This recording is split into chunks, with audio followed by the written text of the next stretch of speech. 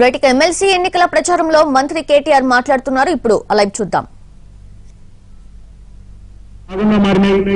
ఇప్పటికి కూడా ప్రజలు ఈ ఆయుర్వేదాన్ని కానీ ఇంకా ప్రాచీన శాస్త్రాలను కానీ ఒక దిక్సూచిగా చూస్తా ఉన్నారు. అంటే వేల సంవత్సరాలుగా బ్రాహ్మణ సమాజం వాటి పరిరక్షణ కోసం చేసిన కృషి అద్వితీయమనే మాట కూడా ఈ సందర్భంగా నేను మీకు విజ్ఞప్తి చేస్తా ఉన్నాను. అదే మాదిరిగా ఈరోజు గౌరవనీయులు మన పెద్దలు కేసీఆర్ గారు ఈ రోజు కాదు ముఖ్యమంత్రి అయిన తర్వాత కాదు. ఆయన మొదటి నుండి కూడా నియమనిష్టలతో ధార్మికుడు ధార్మికుడుగా తాను నమ్మే ధర్మాన్ని నిబద్ధతతో ఆచరించారు. పద్ధతితో ఆచరించే వ్యక్తి. ఆయన కేవలం వాక్శుద్ధి మాత్రమే కాదు చిత్తశుద్ధితో బ్రాహ్మణుల సంక్షేమానికి మొదటి నుండి శాసనసభ్యుడిగా ఉన్న నాటి నుండి నేటి వరకు కృషి చేసిన వ్యక్తి అనే విషయాన్ని నేను మీకు గుర్తు చేస్తా ఉన్నాను. దానికి ఉదంతాలు ఎన్నెన్నో ఉన్నాయి ఉదాహరణలు ఎన్నో ఉన్నాయి. చెబుతూ పోతే ఉదాహరణలు కోకొల్లలు. ఒక నిమిషం ఒక మాటలో చెప్పాలి అంటే గౌరవనీయులు కేసీఆర్ గారు సిద్దిపేటలో శాసనసభ్యుడిగా ఉన్నప్పుడే దేవిప్రసాద్ గారికి తెలుసు ఈ విషయం. ఆనాడే ఒక బ్రాహ్మణ సదనం ఏర్పాటు చేసి అక్కడ ఉండే బ్రాహ్మణులకి ఎందుకంటే ఇవన్నీ ఎన్నో హంగులు ఎంతో జ్ఞానం ఎంతో నియమ నిష్ఠలతో ఈ గ్లోబలైజేషన్ కాలంలో కూడా తమ ఆచారాన్ని ధర్మాన్ని కాపాడుకుంటూ వచ్చే బ్రాహ్మణుల కోసం పేదరికంలో ఉన్న వాళ్ళ కోసం ముఖ్యంగా అండగా నిలబడాలన్న ఉద్దేశంతో ఎప్పుడో దాదాపు ఇరవై ఐదు ముప్పై ఏళ్ళ కిందటనే సిద్దిపేటలో బ్రాహ్మణ సదనాన్ని ఏర్పాటు చేసింది గౌరవనీయులు కేసీఆర్ గారు.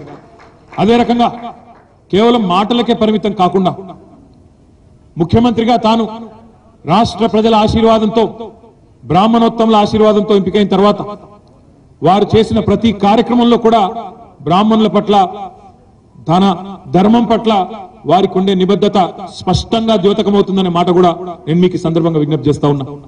కొత్త జిల్లాలు ఏర్పాటు చేసినప్పుడు రాష్ట్రంలో కొత్త జిల్లాలు పరిపాలనా సౌలభ్యం కోసం ఏర్పాటు చేసినప్పుడు వాటి పేర్లు పెట్టే క్రమంలో కూడా ఆయన ఏ రకంగా ఆలోచిస్తారో స్పష్టంగా చెప్పవచ్చు.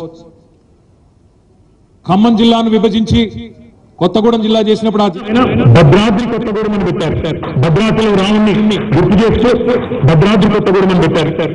అదే మాదిరిగా నల్గొండ జిల్లా పునర్విభజించినప్పుడు అక్కడ ఉండే యాదగిరి గుట్ట పుణ్యక్షేత్రాన్ని అపురూపంగా తీర్చిదిద్దే క్రమంలో వేల కోట్ల రూపాయలు వెచ్చించడమే కాదు.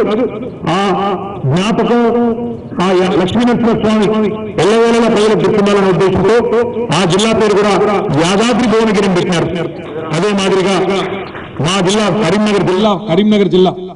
ఆ కరీంనగర్ జిల్లాలో కూడా పరిపాలనా సౌలభ్యం కోసం కొత్త జిల్లాలు ఏర్పాటు చేసినప్పుడు నా నియోజకవర్గమైన సిరిసిల్ల ఏ రాజరాజేశ్వర స్వామి దేవాలయం కిందికి వస్తుందో అక్కడ కూడా రాజన్న సిరిసిల్ల అని పేరు పెట్టిన ధార్మికుడు ముఖ్యమంత్రి కేసీఆర్ గారు. అంటే మాటల వరకే పరిమితం కాకుండా చిత్తశుద్ధిని చేతల్లో కూడా చూపెట్టింది కేసీఆర్ గారు. ఆయన ఒకసారి కాదు పలు సందర్భాల్లో చెప్పినారు. వాళ్ళ కేసీఆర్గా నేను నాలుగు మాటలు తెలుగులో చక్కగా మాట్లాడగలుగుతున్నాను అంటే ప్రపంచ తెలుగు మహాసభల వేదికగా వారు చెప్పడం జరిగింది. నేను ఈ రోజు ఈ స్థితిలో ఉన్నాను అంటే నాలుగు మాటలు తెలుగులో మాట్లాడగలుగుతున్నాను అంటే కొంత జ్ఞానాన్ని పుస్తకాలు చదవడం ద్వారా గ్రహించగలిగినాను అంటే దానికి కారణం మా గురువర్యులు మృత్యుంజయ శర్మ గారని చెప్పి పాదాలకు ఆయనకు ప్రణమిల్లి మొత్తం దేశం చూస్తుండగా ఆయన పాదాలకు ప్రణమిల్లి గురువుల పట్ల బ్రాహ్మణుల పట్ల తనకున్న గౌరవాన్ని చాటుకున్న ఏకైక ముఖ్యమంత్రి భారతదేశంలో కేసీఆర్ గారు. కేవలం మాటలకే పరిమితం కాలేదు కేసీఆర్ గారు. ఎందుకంటే ఆయనకు తెలుసు బ్రాహ్మణోత్తములు చాలా మంది పేదరికంలో ఈరోజు ఇబ్బంది పడుతున్న వాళ్ళు ఉన్నారు. ఇంతకుముందు వాణి గారు చెప్పిన మాట వాస్తవం. వారు ఒక మాట అన్నారు నాకు నిజంగా ఆశ్చర్యం అనిపించింది నేను ఇందాక అది చెప్తాం అనుకున్నా మర్చిపోయినా. పెద్దలు ఒక పెద్ద ఆయన ఎనభై ఒక్క ఏళ్ళు ఆయనకి. వైద్య రంగాచార్యులు గారు ఎక్కడున్నారో వారు కానీ వారు ఇప్పుడే నాకు ఒక పాంప్లెట్ పంపినారు. ధన్యవాదాలు సార్. వారు అక్కడ వెనకాలన్నారు వారికి ఒకసారి గట్టిగా చప్పట్లు కొట్టాలని విజ్ఞప్తి. వారు ఒక పాంప్లెట్ పంపినారు. పంపడమే కాదు వారు చెప్తున్నారు నేను మా చదువులమ్మ వాణి కోసం కష్టపడుతున్నా నా అంతటి నేనే పాంప్లెట్ తయారు చేసిన అంత ఇంటింటికి ప్రచారం చేస్తున్నాని ఎనభై ఒక్కేళ్ళ వయసులో ఇగో ఇది వారు తయారు చేసిన పాంప్లెట్. వాణి గారిని గెలిపించాలనే ఒక చిత్తశుద్ధితో వారు చేస్తున్న ప్రయత్నం. ఇంకో పెద్ద ఆయన ఉపేందర్ గారు వారు ఎక్కడున్నారు? ఉపేందర్ రావు గారు.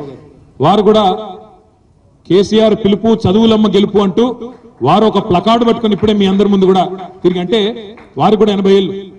ఇంత పెద్ద వయసులో ఉన్న పెద్దవాళ్ళే తపన పడతా ఉన్నారు వాణి గారి గెలుపు కోసం అంటే వారి గెలుపు ఖచ్చితంగా ఖరారైందనే మాట ఈ సందర్భంగా నేను మీకు విజ్ఞప్తి చేస్తా ఉన్నా. కేసీఆర్ గారి నాయకత్వంలో నిజానికి వాణి గారు ఇంతకుముందే మాట్లాడుతున్నప్పుడు చెప్పినారు పివి నరసింహారావు గారు అంటే మన తెలంగాణ సమాజం యొక్క అస్తిత్వం మాత్రమే కాదు ఈ దేశవ్యాప్తంగా ఉండే బ్రాహ్మణుల ప్రజ్ఞకు కూడా ఆయన పరిపాలన ఆయన దక్షత ఒక నిదర్శనం అనే మాట కూడా ఈ సందర్భంగా నేను మీకు విజ్ఞప్తి చేస్తా ఉన్నా. వారు మాట్లాడుతూ ఒక మాట అన్నారు.